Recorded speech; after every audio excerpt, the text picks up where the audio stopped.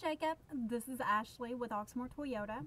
I wanted to send you a quick video greeting to personally introduce myself so you can see who you'll be working with.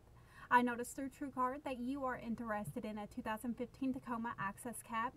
We do honor the price quote that was given to you through TrueCar as long as the vehicle is in stock on our lot.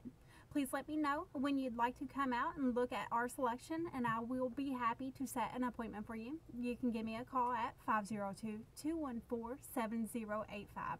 I hope to hear from you soon. Thanks. Bye.